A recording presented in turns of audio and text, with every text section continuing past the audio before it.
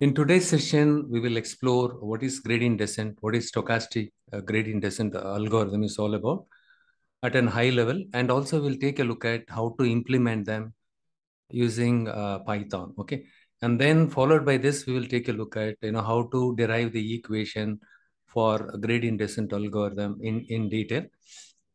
I'll start with uh, let us first understand what is gradient descent is all about. So gradient descent is an algorithm. Uh, it is an iterative optimization algorithm. It is very much helpful to minimize the cost of your algorithm or machine learning model. So what do you mean by minimizing the cost? So one of the uh, main objective of machine learning algorithms is to reduce the cost. What is cost? Cost is nothing but the error Okay, what is the error? Error is, we know very well, if you subtract the predicted value from the actual value, and if I, right, so this is what your error. So we call this equation as a mean squared, mean absolute error or mean, so uh, this is your mean squared error, right? So we take, we square the error. Basically, the actual minus predicted will give you the error. And we square the error and you divide uh, this by the total number of um, data points in your data set. So this is what your cost. See, henceforth, if I say cost, it is nothing but error because uh, in practice, most of them, they use the term cost instead of saying error. And there are few, they refer uh, loss function, cost or loss. Loss or cost, L-O-S-S. Either loss or cost, but most of the time they use the term cost. The whole objective of um, any machine learning algorithm is to minimize or reduce the cost uh, when we use uh, this algorithm, so the gradient descent algorithm is helpful in terms of minimizing the cost, ideally, you know, somewhat close to zero. Okay. Okay, this is the given data set. Look at this. This is the given data set, and uh, this are it's a training data set. Okay, as you can see here, um, for this uh, given size and UDS, this is the price, housing price. Okay, the house, the size of the house and undivided share of the house. For this, this is the actual price given uh, by the, realtor.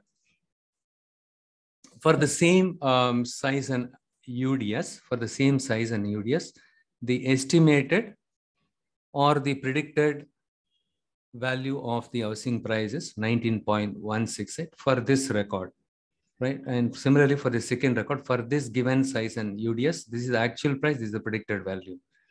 The difference between the actual and predicted, if you subtract the predicted value from the actual, you will get the cost, which is nothing but the error, actual minus predicted. So what we do is we square the error. Why do we have to square the error? Because if you want to take the sum of squared error, if you want to total all these values, the positive and negative value will get subtracted. We don't want that to happen. Hence, we are squaring each and every error. For each and every uh, sample or each and every record, we are squaring the error so that the minus into minus will become plus. So the you know you will get the square when you see the square, squared error, it's all positive value. Okay, and uh, if you take the sorry, this is your uh, right? So this is what your sum of square. If you take the sum, right? If you take the sum total, because squared error, we squared the error, and then if you take the sum, you will get some value. If you add all this value, you get the value. You will get some uh, total value. Okay, the sum of squared error. Now let us visualize this in a you know in a chart. Okay, so in this case, um, the blue circle represents the price the blue represents the price the blue color okay? And uh, that is the this is the actual value okay? So what is the predicted value? What is the predicted value? When i fit this line so the, this is what you were predicted. The predicted values lies on top of this line okay? The equation for this line is y equal to mx plus b. So different uh, website you can see different notation. This is your intercept this is your slope sorry, this, yeah, this is what your slope and this is what your intercept. So like this line, oh, one second, this is like this line, I can draw different lines. Of these different lines, which one is the best fit line? I have drawn three lines. Of these three lines, which one is the best fit line? How the best fit line is determined? The best fit line is nothing but the line that gives us the lesser error. That is what best fit line. Lesser error, the line, the best fit line which gives us the lesser error is called your best fit line. This error is called as cost. That's what we discussed a while back. So we want the cost uh, should be minimum. Okay. We want the cost should be minimum. So uh, see what uh, we do as part of um, gradient descent algorithm is we what we do is we uh, as part of uh, gradient descent algorithm we keep changing the value of m and b we keep changing the value of this m and b see in the case of uh, typical linear regression this is the equation this is the equation we use it to um, this is the equation which we use it to get the predicted value. For example, in this case, right? So what is the, the intercept? Intercept value is already computed by model. My model gave me this and we don't have to compute it manually. Slope also computed by my model and uh, slope the for, for slope for size got computed. We got it from our model. And in this case, uh, the slope for UDS also, we got it from our model simply if you plug in the values, right? So the slope is 0.04 and uh, 0.01, 0.18 for the UDS. This is the slope. And if I multiply this value with uh, the UDS, what is this uh, 230.1? See, slope is 0.04 and size is the first record, 230.1. And for, for, for UDS, the slope is 0.18 and value for the UDS is 37.8 if you simply plug in uh, you know these values slope is already estimated by model the size and uds is available in data set if you estimate this you will get so if you so if you plug in the values you will get the predicted value. So in this case if you you know if you uh, some if you solve this you will get 19.16 okay. Uh, this is what your predicted value right? The y gives us the predicted value. This is what uh, I discussed at the very first uh, session of the linear regression model.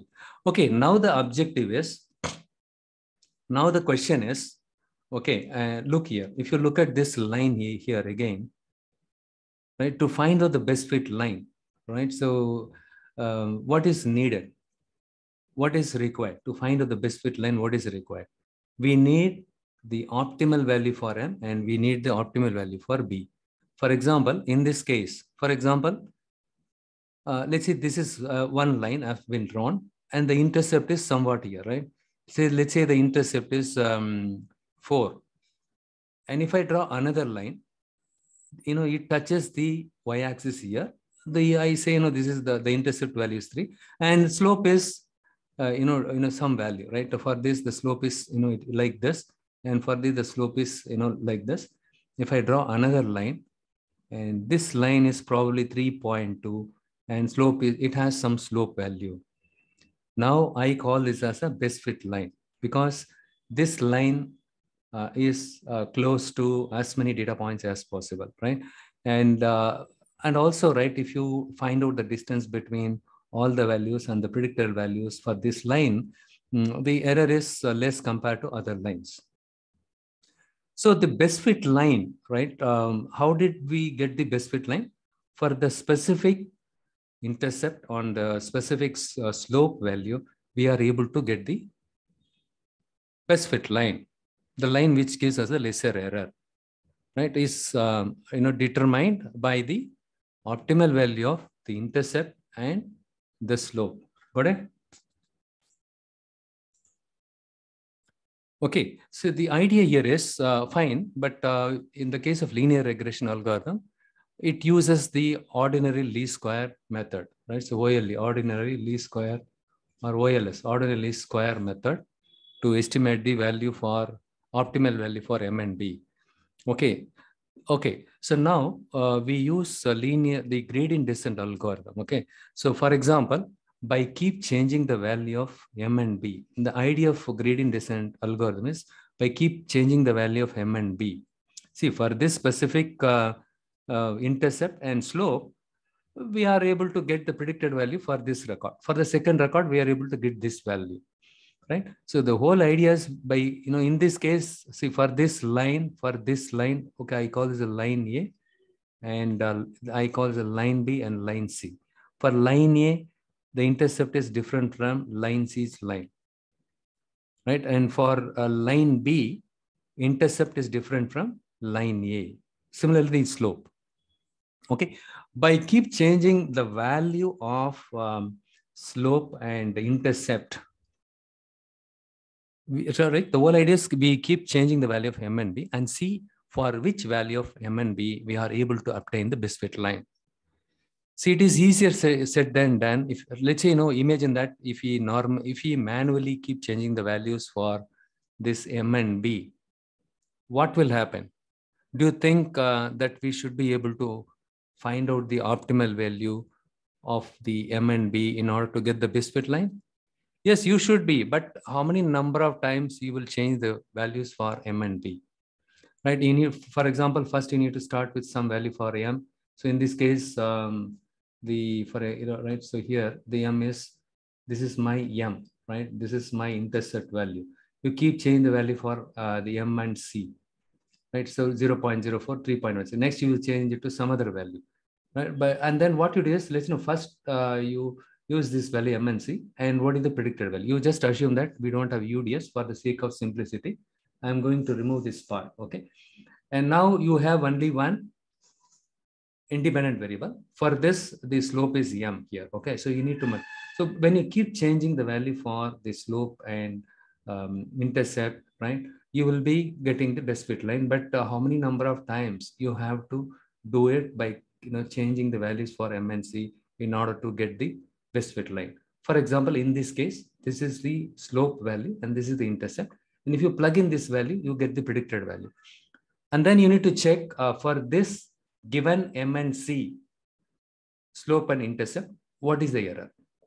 Next, you change the value for the slope and intercept and then uh, you will plug in the values here and then you will get the predicted value, different predicted value.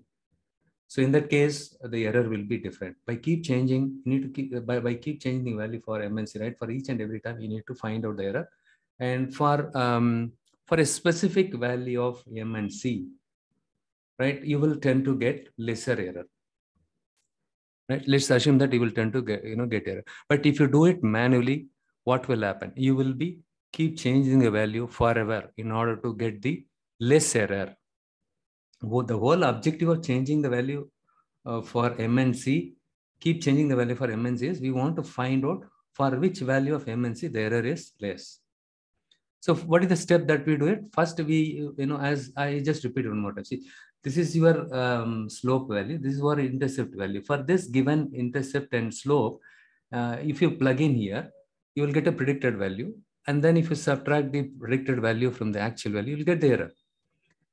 Okay, and you, you note down here, okay, this is the error. And the next time you change the value for M and C, right? So you will probably, you know, you will uh, gradually increase the value. Okay, and uh, you plug in the value and you will get uh, the predicted value for that specific M And C. And then you will subtract, uh, you know, the predicted value for the new M and C from your actual value and you will get a different error. You need to compare that error with this error. Okay. So if that you know, error is goes down, then you're good. But how long you keep do it? If you do it manually, you will have to do it forever. Okay. So that is where the gradient descent algorithm comes into play. So using that algorithm, right, uh, we should be able to minimize the cost function or uh, the cost. Look at this um, animated thing look at the M and B. So in this case, B is nothing but C. Okay, I call this B is an intercept. So look here, he is keep changing the M and B, the value for M and B. And then he is plugging here. Look here, 1.36, 1. Point, look here, whatever value is there, he just plugging here. Okay. And by keep changing the value, what happens? The line, right? It gets converged. Converged in the sense, we are, if you look here, for this given M and B, it was initially it was here, right? Gradually it moves, you know, it moves up for every change in value of m and b and ultimately it fits this data uh, you know it fits the data very well right? The line, best fit line. This is the best fit line. Okay, um, now the question is, um, if I do it manually, uh, right? So it'll, you know, I will have to keep doing it um, forever because uh, sometimes you may, it may cut because we do not know what value you need to use it here, right? What value you need to keep change it, you do not know. Either you need to increase or decrease it. And, uh, you know, if I wanted to increase it, you know, how much value should I increase? You do not know, right? That is where the gradient descent algorithm comes into picture. Okay, that is where the gradient descent algorithm comes into picture. One second. So what I will do is, okay, so in this case, what we do is the uh, the use using gradient descent algorithm, we start with the random point on the function and move in the negative direction of the gradient of the function to reach the local or the global minimum. Look at this, uh, uh, you know, image here. You just think, uh, you know, this is um, this is a hill. Okay, this is the hill. You are standing somewhere here.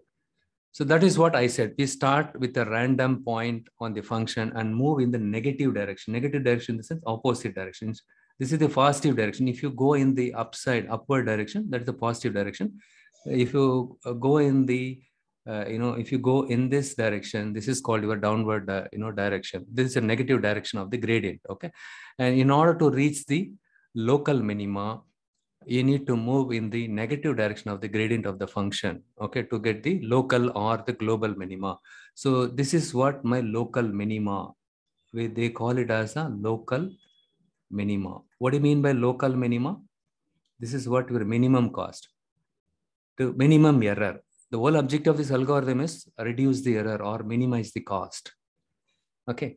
Okay, we will start with a simple analogy. With this, you should be able to understand how this algorithm is, uh, you know, uh, or, uh, you know, how we can reduce the error or cost using this, right? Using this analogy, you should be able to understand.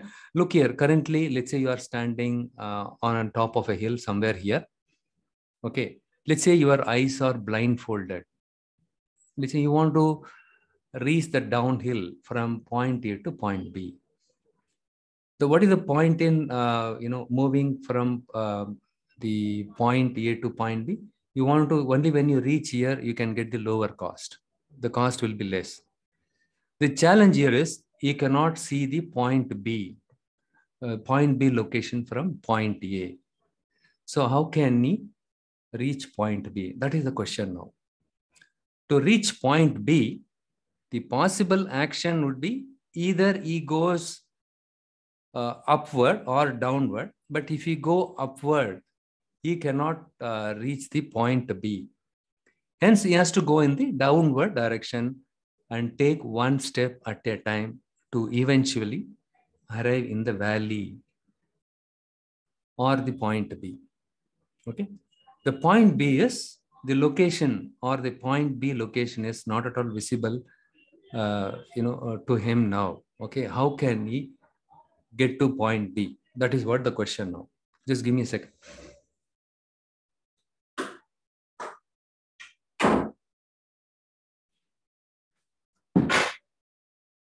Simple common sense. Uh, for example, you are standing here, you want to reach this place. How will you come here? Your eyes are closed. How can you come down here? if you want to come down here, what are the things you need it? You know, you need to know the direction, right? Number one is direction. Simple, very simple. Which direction? If I go in this direction, I, the chances are high that I can reach this place. Instead, if you go in this direction, can you reach this place? You cannot, right? Similarly, if you go in this direction, or let's say, you know, if you go in this direction, you will not. First of all, you cannot go here. Let's say you go this direction, right? So you can go in any direction but you need to know, uh, you know, the correct direction. So first thing, you need to know the direction in order to reach uh, from point A to point B. So what is the other thing is required to reach uh, the point B location? What is the other thing you need? So you need to know the direction, right? And what is the other thing you need to do it? You need to know the step size. Can I take the longer step or can I take the smaller step? Second thing is you need to know the step size. So this is a longer step, this is a smaller step. you need to know this uh, you know step size at each position let's say you are here currently and you moved you took one step and you move to this position in this position you should know you know what is your step size and similarly right uh, when you are in this position you should be knowing the step size. Because the if you take the longer step look here like this if you take the longer step size you know like this right what will happen is you may tend to land here. Instead of reaching this place you may overshoot here. Hence you should be knowing the step size. The first thing is you should be knowing the direction. You should be knowing the step size in each and every position i repeat this for you know you are in this position currently. From this position to take one step right? You should be knowing one step forward. You should be knowing what is which in which direction or which slope uh, you need to move and you know what is the step size. Okay. When you look at this um, closely as uh, this person when he keeps moves down down down here the step sizes are getting reduced. Right? The steps uh, you know getting it should get reduced right? Obviously. If you take the same uh, step size which you used it the very first time what will happen? The chances are high that you might overstep. Let's say your steps is too long. So what will happen? You will your your leg will land here instead of landing here. So only when you uh, know this uh, direction for each of these steps uh, you can reach the point b at the earlier. How will he now the next question is how will you know the direction? There is a equ, you know, mathematical equation. With this he can right? So so the, the, determining the direction we need to determine the direction. Which direction he has to you know get down from the from this position to next position okay so determine the direction which is nothing but the you know gradient which is slope we should be knowing slope see at this position this is the slope. Look here, the dotted line. This is the you know slope. When I draw a line here, right, this is called your tangent line.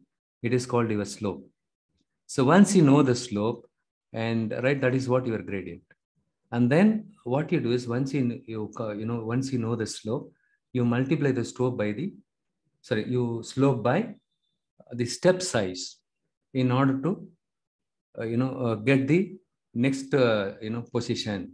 To from this position to this position to get it you get to this position. You need to know the direction and also you need to know the step size. Step size if you uh, if you uh, take the step size uh you know if let's say if you multiply the step size by gradient you will get to know the next position each step you need to know the direction as well as step size that's it the, how will I uh, know the direction? There, there is an equation for this. This is the equation. Okay. So this is called uh, partial derivative. So here in this case, if you see here, they have taken the partial derivative with respect to B, right? Uh, this is the equation.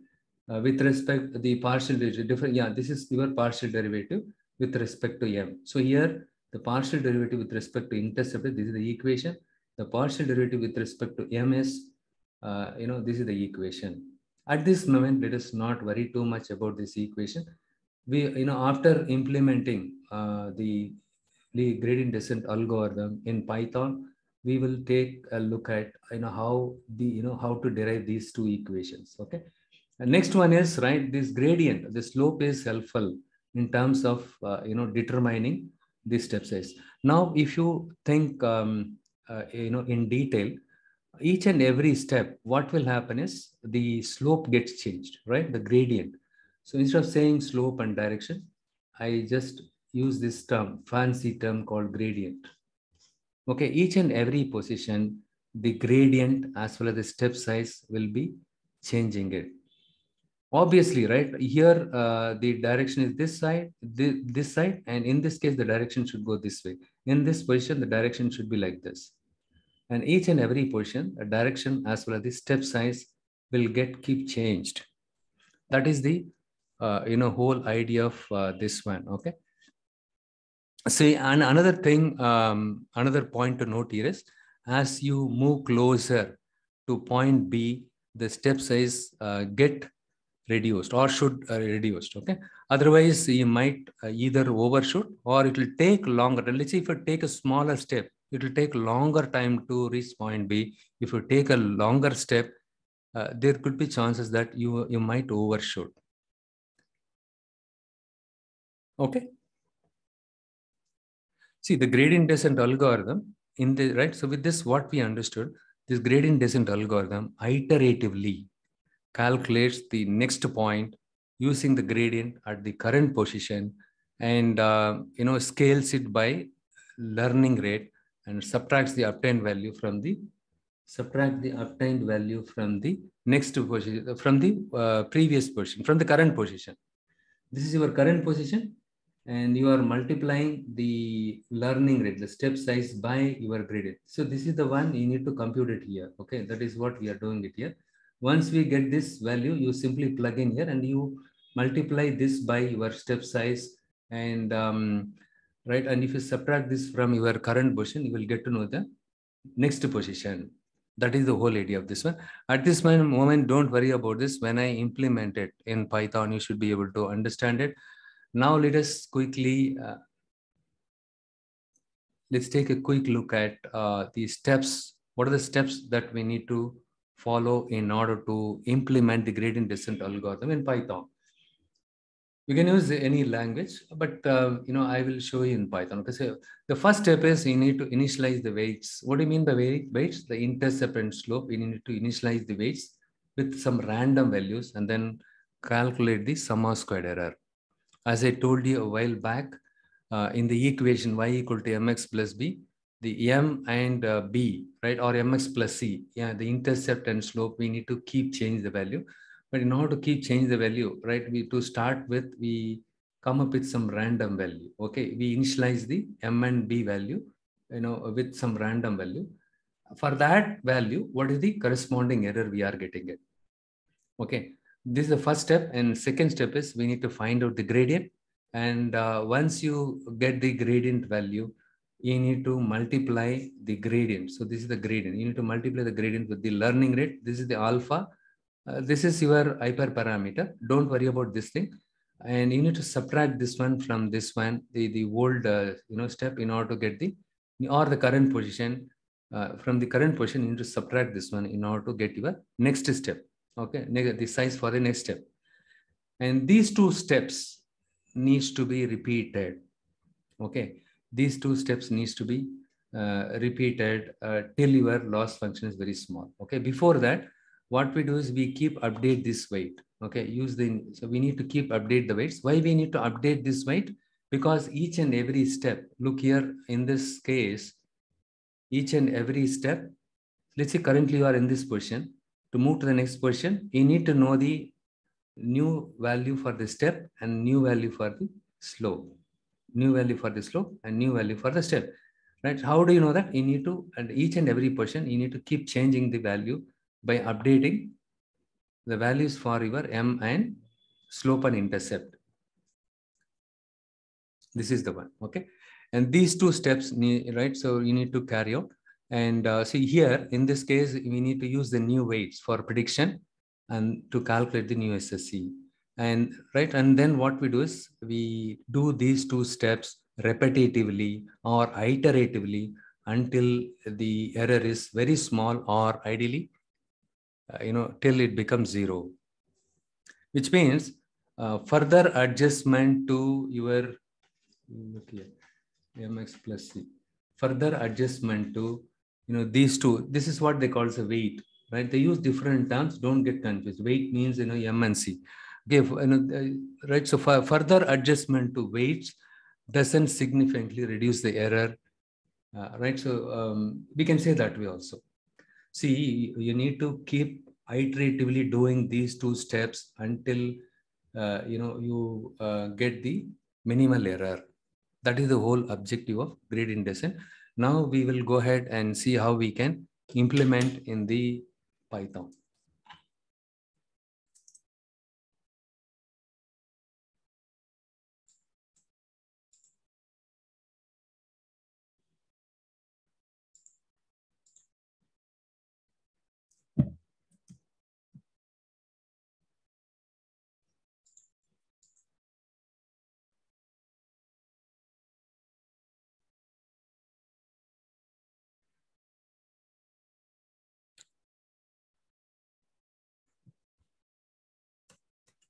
As usual, I just import um, all the basic uh, thing, right? The NumPy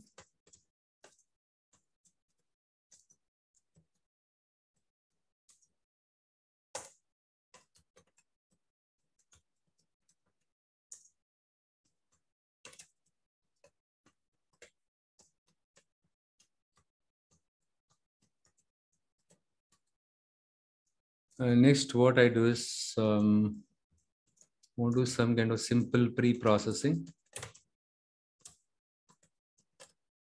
Input data. I call this as a data um, uh, pd dot so csv colon. I have something called data dot csv file. I'll just show you what is there in this data set.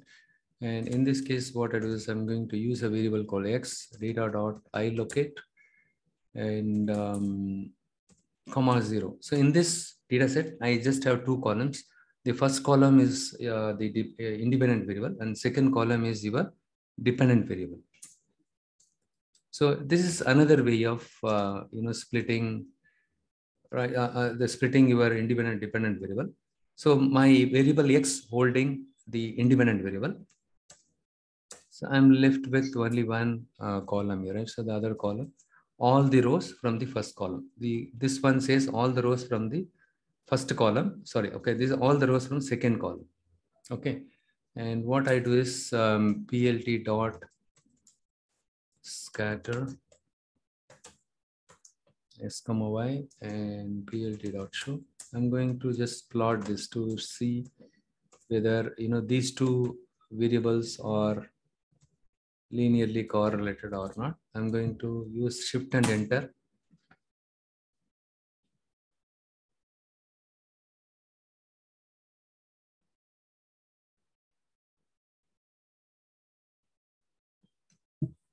Okay, if you fit a line here, it is more or less like, you know, so there is, a, you know, the, the relationship exists between the independent dependent variable because we can see something like this, right? Upward trend, the pattern we can see like this. Now what we do is uh, we will go back here and implement these, uh, you know, for, you know, three steps, okay? And um, yeah, four, five steps, right? We will implement, we convert all these five steps into Python code. So what I do, the first thing, you need to initialize the value for initialize the value of m and b. And here I say m equal to c equal to zero. In one line, we can say like this, right? In Python, we can do it this way.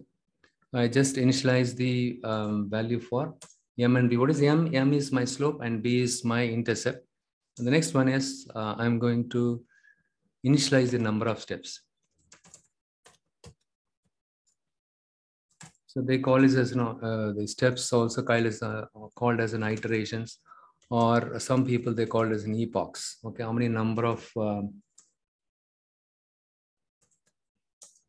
steps or iterations that are required, right? So to iteratively compute the gradient as well as updating the values for both M and B, right? How many number of steps that are required? That is what we need to, you know, define it. And epochs.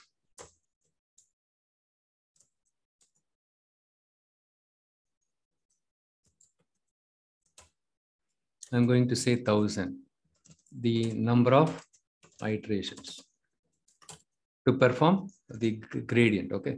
And the next one is I'm going to define the number of data points. Number of data points. I'm going to say n. Here I say float of len of x. Or you can use a shape uh, of uh, zero. Okay. Initialize the learning rate nothing but your step size. Okay. Initially, the step size is, uh, I, I call the learning rate is L. So use a smaller value for learning rate. Okay. If you use bigger value, uh, it will take longer time. And if you, uh, sorry, if you use a bigger value, it will not convert. If you use a very, very small value, it will take longer time right? So we will start with some, you know, some this value 0 0.001. Now what we do is the second uh, step, two and three.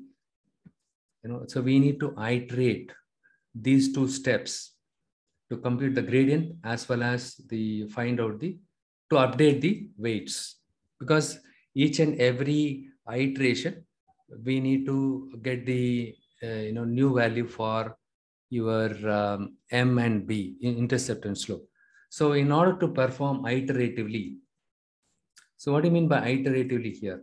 So repeatedly right? So because for this step what is the gradient and uh, what is the step size? And in this position for each position is nothing but steps nothing but the iteration. In each iteration uh, what is the uh, we need to uh, you know get the we need to compute the gradient. Once you compute the gradient you will be able to get the next size you need to keep changing the values for uh, you know the intercept and slope and at each position right so in order to you know uh, take multiple steps right you cannot reach uh, with one or two steps right in requires multiple steps hence it requires multiple iterations which is nothing but the epochs so here for in range. I'm using a for loop, EPOCHS.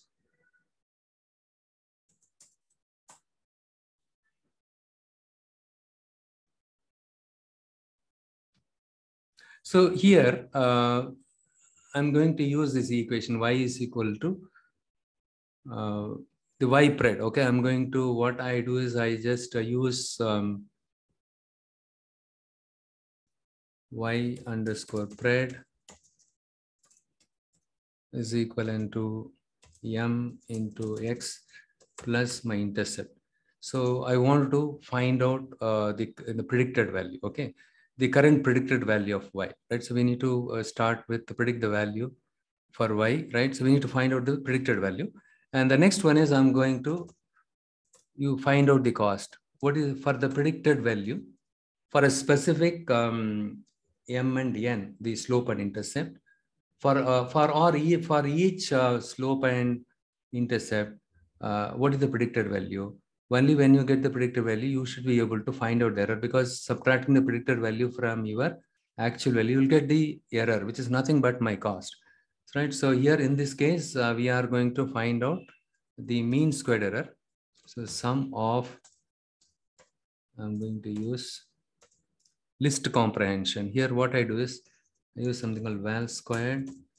Uh, I'm going to use for val in, I'm going to say y is my actual value and this y pred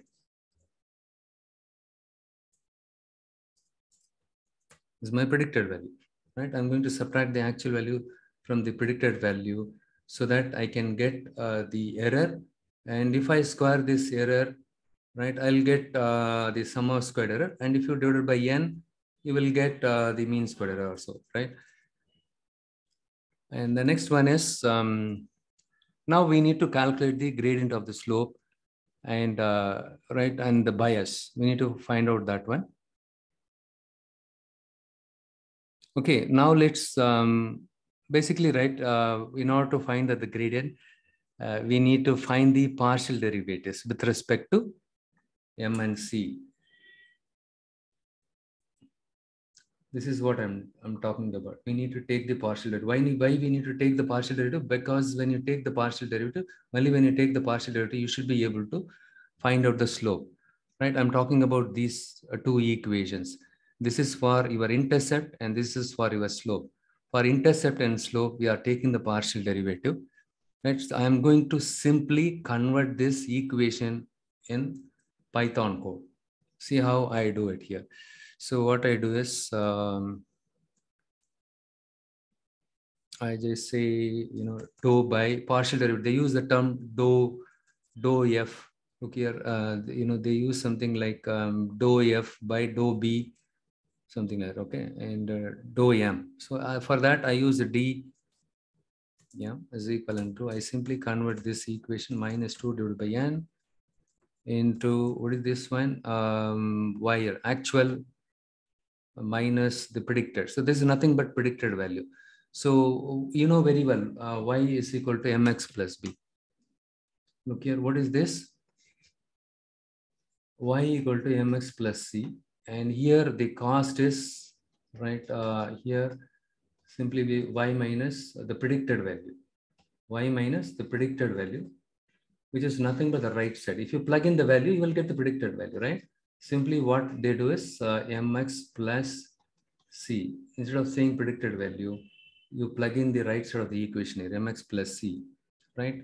And um, the b is, uh, that is a different thing. Okay, this is the equation. And here in this case, what I do is minus 2 divided, simply I'll convert this one. Okay, here what I do is um, sum of x into y minus y pred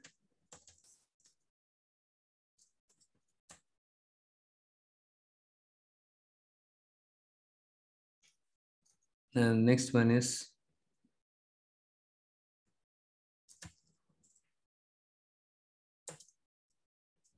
partial derivative for my intercept minus 2 divided by n. Don't worry about this equation. We will see how we how we can derive this equation now after this, okay?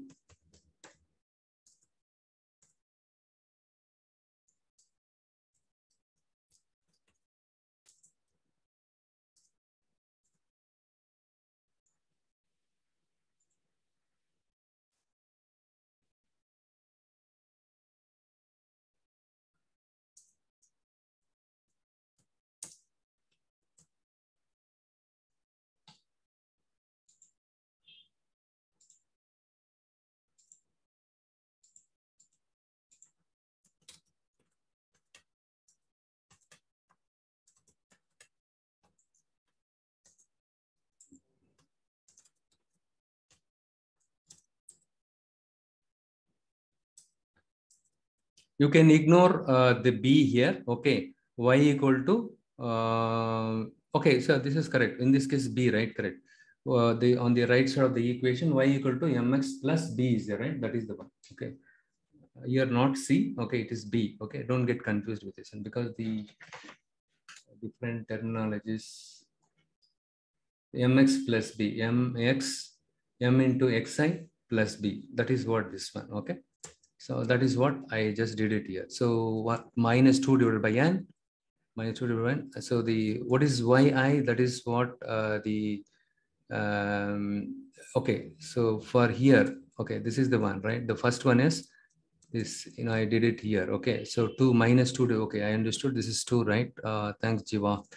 2 by n. And here the actual value and then the predicted value. That is what I mentioned here. And for this one, the second equation, this is for your from for your m, and here minus 2 divided by n, your xi into this value, okay? xi into this value. So in this case, the x is uh, my independent variables already we defined, right? So x into the this one, right? Actual minus predicted value. Correct? So we are able to convert that equation to Python like this. The next step is, um, what is the next step? The next step is we need to update the weights, okay? And what I do is I say M is equivalent to M minus learning rate into D divided by M. And I just use C here. C minus L into D underscore C. First, we need to know the direction. For this, we compute the gradient. What we do is for M and C, for the slope and intercept, we are using the corresponding gradient. This is my gradient, right? So what we, if you, uh, you know, multiply this uh, gradient value for your M by learning rate, and if you subtract this from M, you will get the changed value for your M Sim the same thing is applicable here. Okay, look here in this case, we already computed the gradient. We are multiplying the gradient by the learning rate.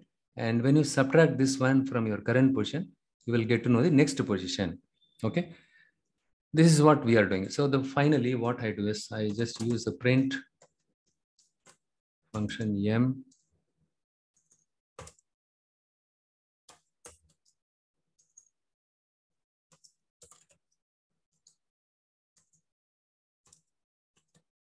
iteration. We want to see each iteration, what is the cost and what is the value for slope and intercept. Format m comma c comma cost comma i.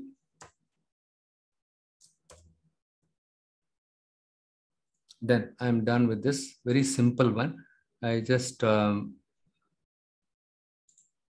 you know the invalid syntax d i uh, you know c here what is the problem here uh, d underscore c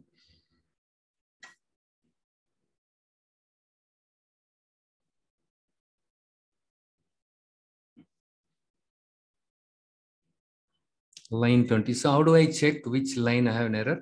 In Python, uh, Jupyter Notebook, press escape and L. It will show you the line number, the 20th. And also we can see it here very clearly, right? So invalid syntax error. And what is the problem? Closing bracket is uh, missing, right? Good. Um, here, um, it's correct, right? So where is the closing bracket? So 2 divided by n into sum of uh, hmm,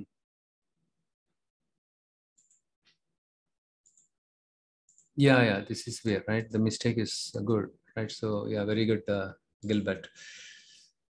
Right, so line 19, because the line 19, yeah, no, it's correct, right? One second, let me just. So this one is for this and this one is for this. You mean to say that, yeah, now we are x is not defined. We have uh, some other problem here. This is not small x, this is a capital X right? That is what my, let me do one thing. We pred, ah, okay, here the, okay, let me do one thing here, here m x plus c, capital value, capital letter, it should supposed to be, n is not defined.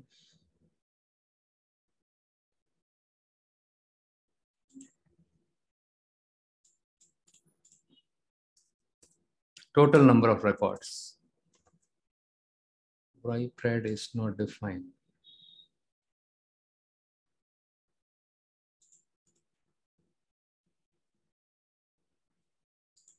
Y put to y underscore pred. Okay, okay, okay. Sorry, it's a lot of mistakes here. And here uh, y pred, right? So yeah, so line number 20, y underscore pred my god at last we are able to get this one right? So we are able to fix it. Uh, thanks guys. Sumiti thanks. Okay good. So there is a there was a lot of uh, typo here. Good we initialize the value for m and b and then we define the number of iterations? Right so you so there is a question here right? You might be having so why 1000 why cannot be 10000 you can use more number of iterations but the higher the value use it it will take longer time okay and again, we don't need, uh, you know, bigger value. Start with small, okay, probably 1000. And then next, uh, we need to find out the total number of records. And then I initialize the learning rate with, uh, you know, the smaller value, 0.0001. And next, what we do is we iteratively compute the value for uh, gradient for both uh, M and C, the intercept and slope. And then what we do is we multiply this uh, gradient, the obtained or computed uh, gradient for both M and C by the learning rate. And then each iteration, what happens is you will get new value for M and C. So for this one, you will get new value for each iteration, you get uh, you know, new value for the M and C. Okay, look here. Now uh, I just printed the slope and the intercept. Along with this, I have uh, defined, you know, I have printed the cost. And in iteration zero, what is the cost? Right. So if you scroll down here, so this is my iteration zero. So how many number of iterations uh, it's supposed to do? So epochs, I defined it as thousand, thousand iteration it should have done. When you keep move down here, look here, uh, triple uh, one here, it started with uh, 5,000 and it keeps reducing the error, right? The cost is getting less, less, less, less, less here. And if you see here 0.07432 become 113x, okay, keep reading. Let's go at the bottom 999th iteration. We will take a look at here. Look here at this point, the cost got reduced, right? Uh, and um, 11 point triple one point zero one one four five zero and okay 0 0.11.0109 right at iteration 99 the error got reduced from five you know initially we you know we started uh, getting 5000 from 5000 to look here this is the one. 5600 from 5600 to it got reduced to 11 but uh, even in 11 right so when you keep looking at 11 triple one point zero one one uh, 0408 and uh, 01 and uh, 09 this one zero 0 became 09 it is not at uh, you know uh, stable. Okay? It is not as stable but with so with this what we can understand is with a thousand iterations we could still that we can still see that the error is the chances are that right uh, if you increase the iteration the error can further get reduced. The cost can get reduced. Okay, with the randomly chosen uh, value 1000 for the iteration. See the iteration and learning rate, these two are hyperparameter. This, you know, this can be tuned by the data scientist and we are the ones supposed to tune it. Okay. So now the question is, yes, uh, this is the final value, right? This is the uh, intercept uh, and uh, slope value for this minimized cost. For this minimized cost, this is the one. Okay, now uh, what we will do is um,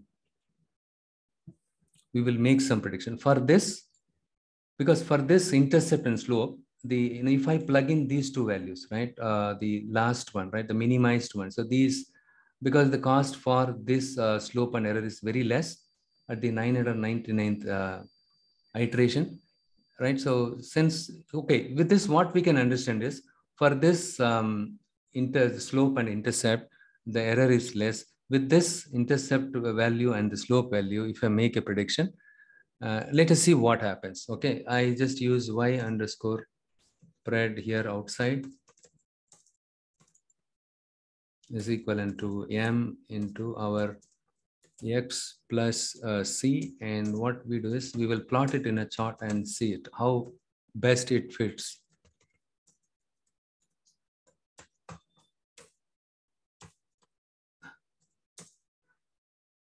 plt dot plot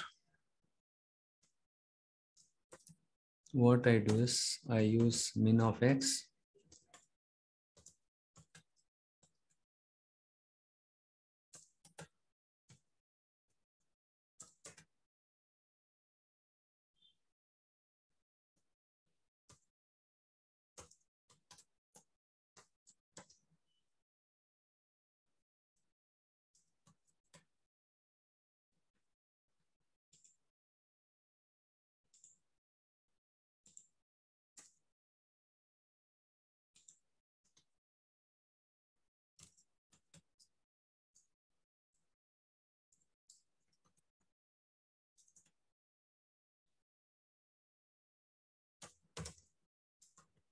I say color is equal to red.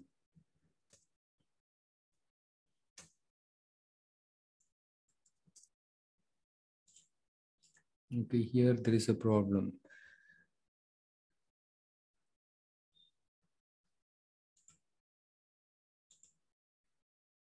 Okay. Oh, here I made a mistake, right? Correct.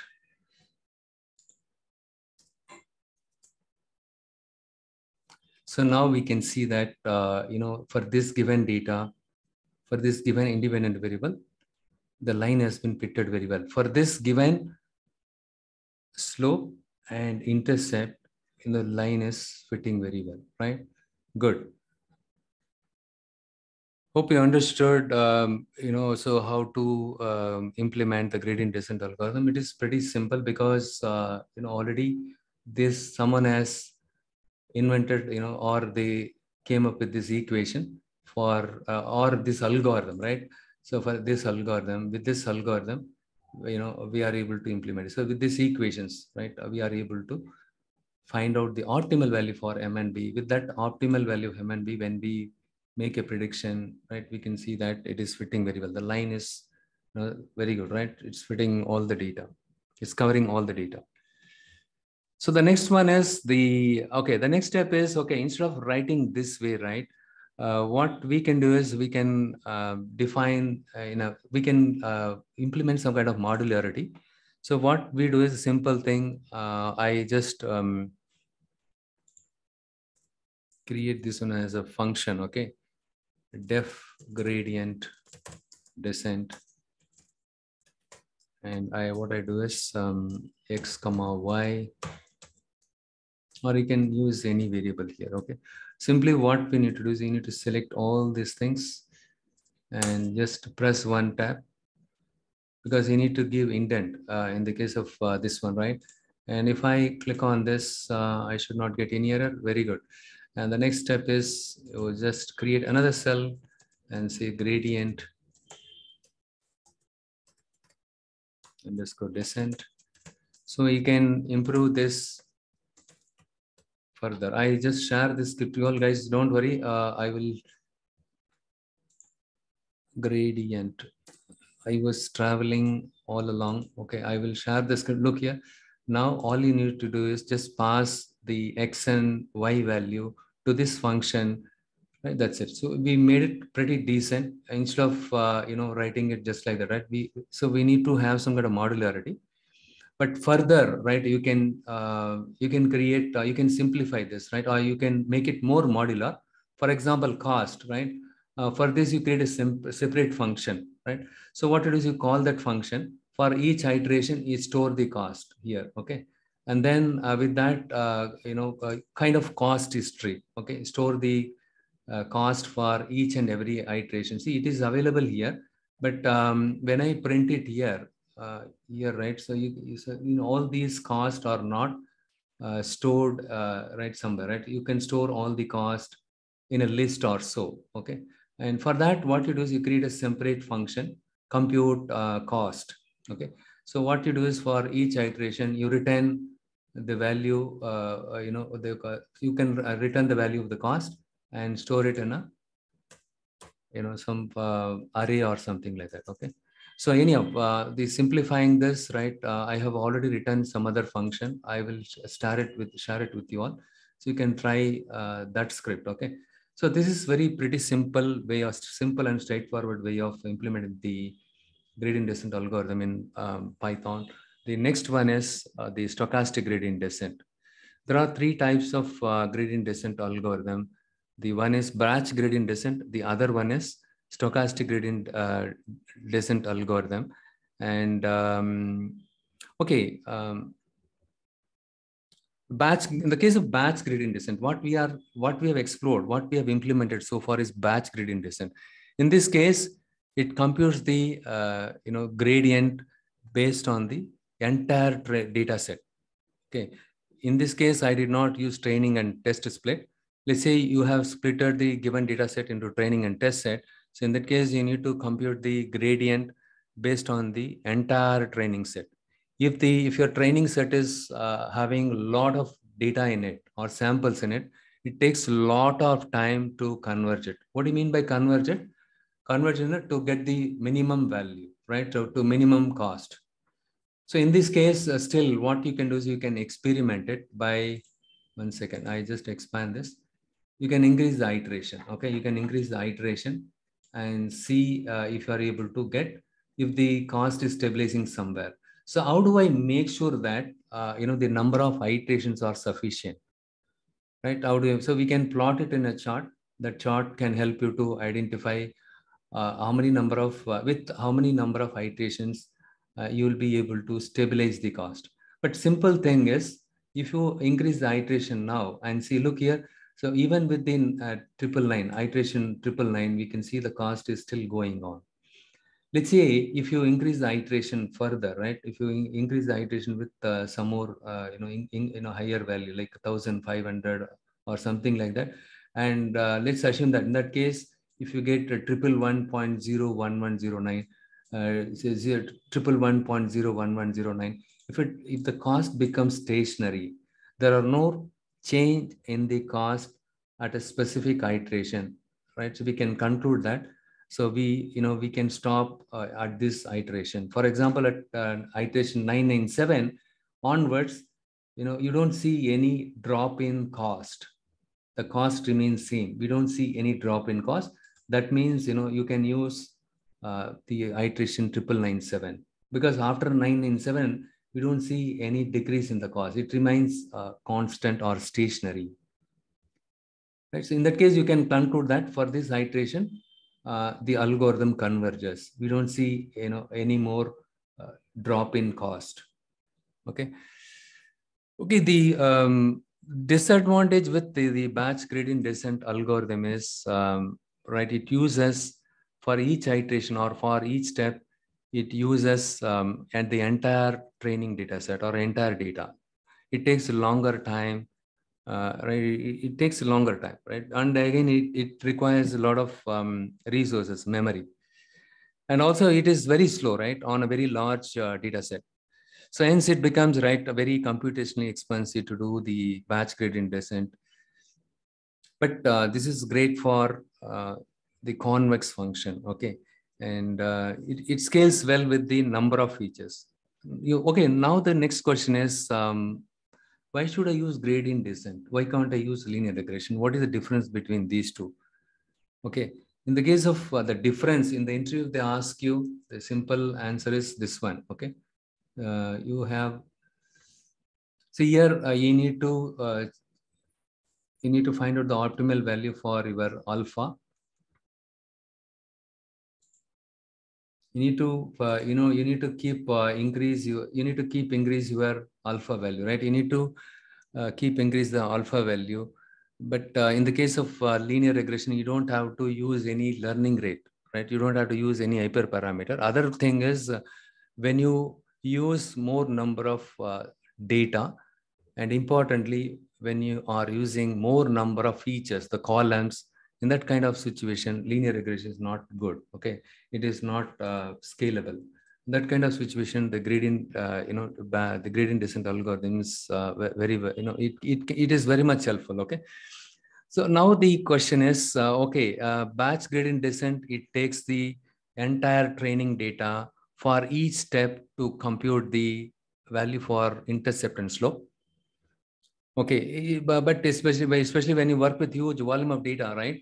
It takes longer time.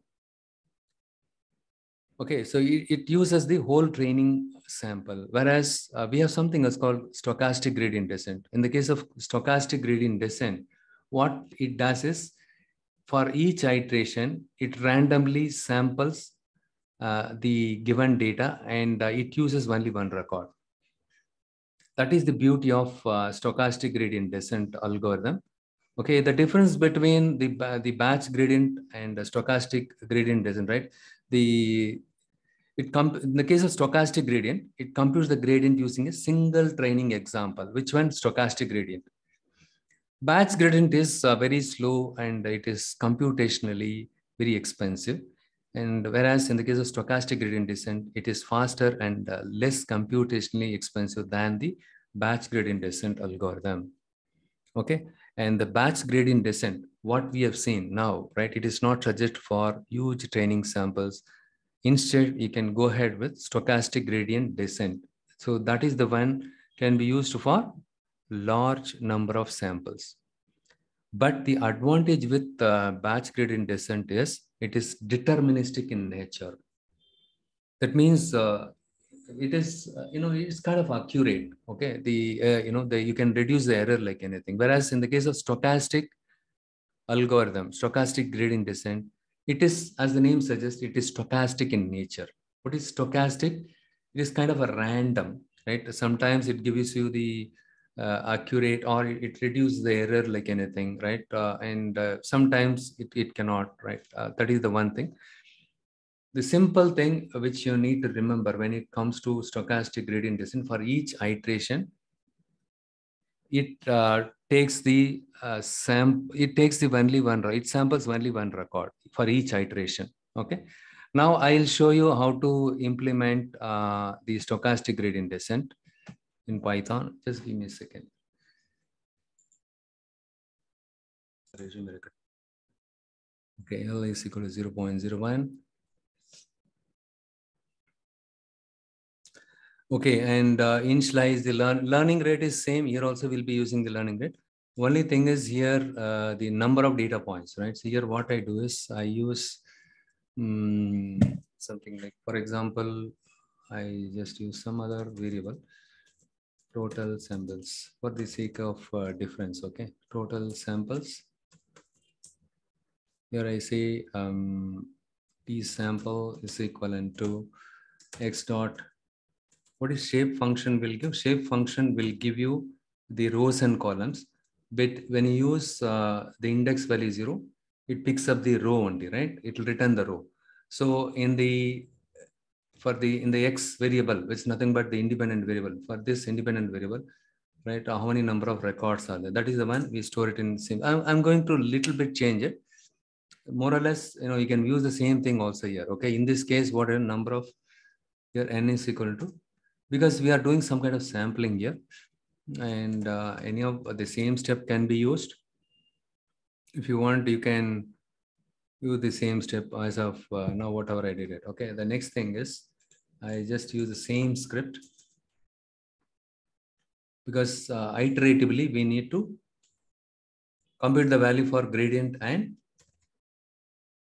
and then we need to multiply the gradient for with the uh, learning rate and you need to subtract that from your current position in order to get the a new value for MNC. Everything is same. Here I'm going to remove the, what I do is, okay, here up to this, uh, it's all fine. Okay. What I do is I here, um, I say or IDX I'm going to, there is a function called random, okay, random, rand, uh, it will generate the value randomly. Because when it comes to stochastic um, gradient descent, we are randomly sampling the training data, okay, and to get the, and get the, you know, the sample data, okay. So we basically, we are sampling the data here we are not using the entire data. Okay, for each iteration, we are using only one record, that too this sam randomly sampled record. Okay, you just think that way. T sample minus one. Okay, and the next one is, uh, I just say, I'm going to change the data set. That's all. Okay, sample underscore x is equal to x of or idx and um, the next step, what I do is, uh, so yeah, first of all, I should uh, use the random library.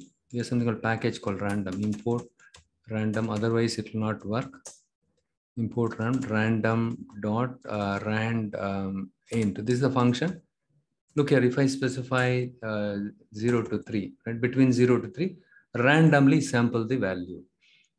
Okay, between 0 and 3, you randomly give me some number. When I execute this one more time, look at I'll get different value. For each um, time you execute, you'll get different, different value. Randomly, it picks up the you know value. It randomly picks up uh, you know some value between 0 and 3, right? Each and every uh, time when you execute it, you will get you know different uh, samples, randomly selected value between these two values. Got it? It is a random. Okay Okay, so now what I do is here, oh, the next thing is um, same thing. I need to create uh, the sample data for the dependent variable.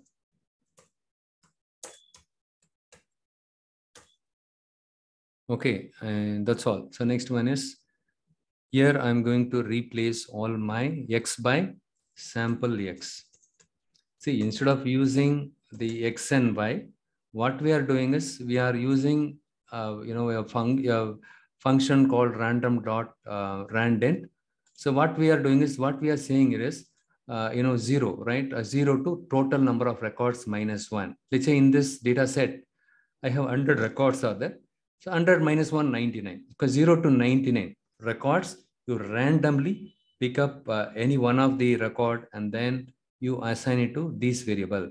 Now what I do is um, I need to use uh, sample x. Instead of using capital X, I'm using uh, you know the, the sampled value.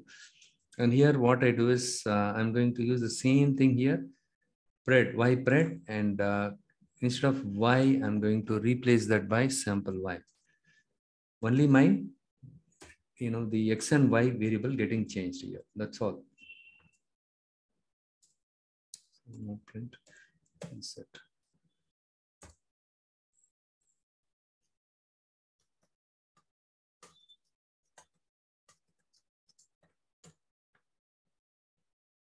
And then, yeah, this is the one, sample underscore y.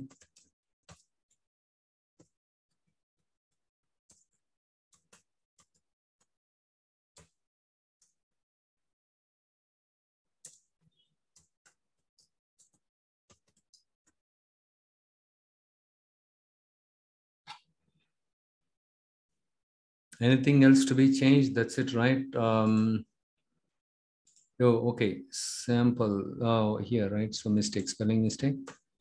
Yeah, sample, sample y, good. And uh, okay, very good. Uh, very good. You're doing good job. Okay, I just execute this one unexpected in indent. Okay, here m equal to okay, okay, okay. Here what because I did not use a function, right? For i in range uh, unexpected indent okay. So in this case what it is okay i just um, do it one more time.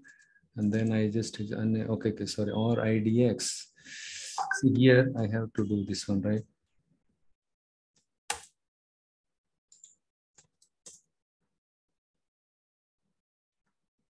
Cost 1 by n uh, into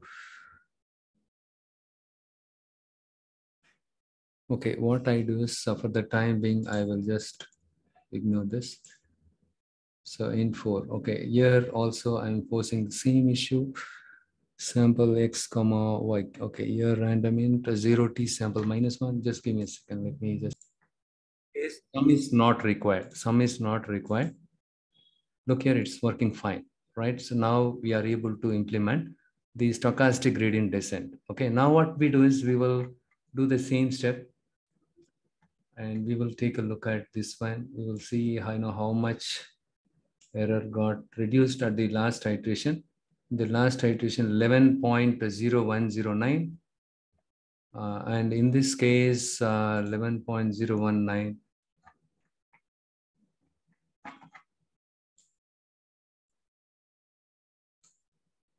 yeah, more or less same, right? Uh, let me just copy this, sorry, and only this one. This is my gradient descent, especially when you work with the huge volume of data, right? You will get to know, okay? And uh, you will see the difference, actual difference. When you work with this small data, the first one is my last iterations, uh, slope, intercept, and cost. And second one is um, uh, yeah, iteration triple nine. We don't see, yeah, the slope, slope and intercept value got changed. And the cost is uh, triple one dot zero nine eight eight seven three five six one.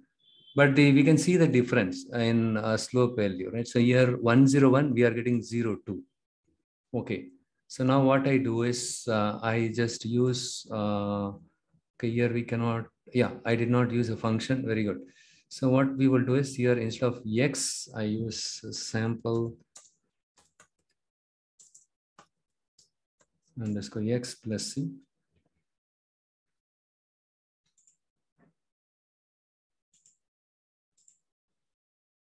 Anything wrong? Uh, you mentioned, yeah, sample underscore. Oh, sorry.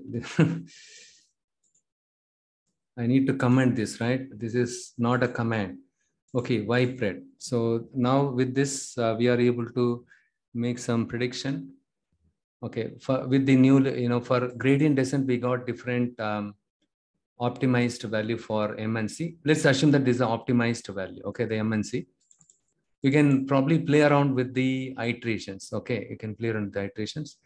And uh, sorry, the next one is, uh, yeah, I'm going to use the same script here. And we'll see how best my model fits with the stochastic gradient descent. Here,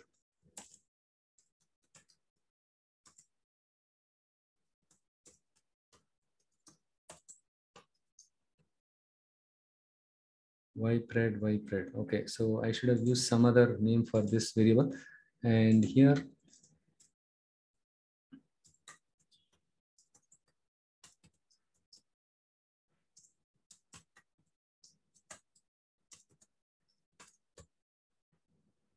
it's recording right? Okay good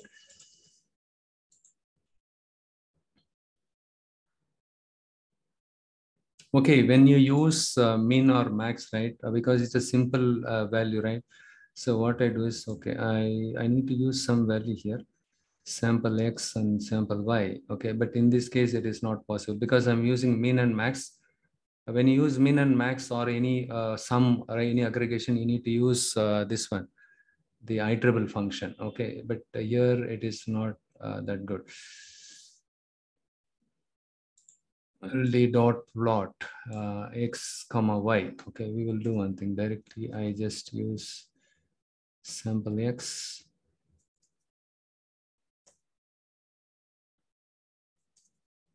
Ideally, when you use min or right, so that is the one can help you to get that one. Sample x by pred and uh, okay, okay, okay, here it's not giving that. Okay.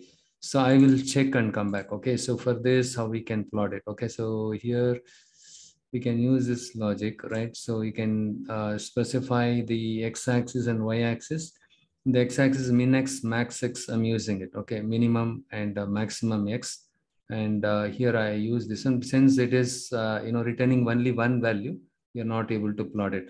But with this itself we can make out right? So the cost is more or less same not more or less it's same right? Exactly same.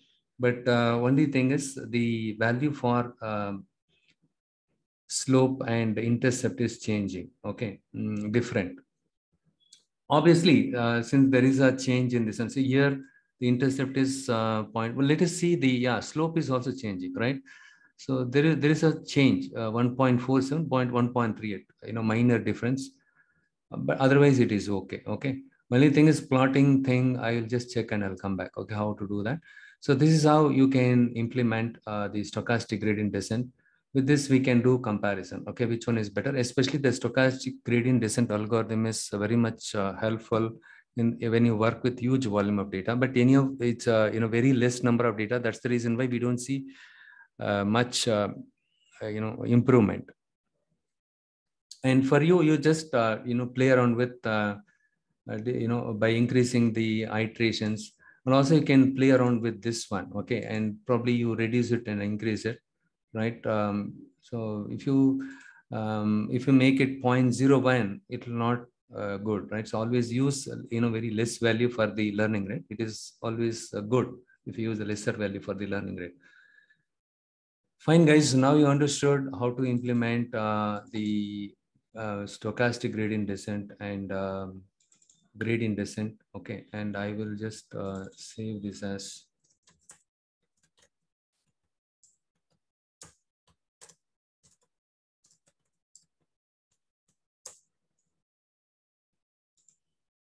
we can uh, make it uh, you know more modular. Okay i will uh, probably share another script right? So but anyhow this is the uh, you know basic thing you need to but how you can improve this code that you can take a look at that uh, you know the the the pn uh, python notebook. I will share that one also. Don't worry. Okay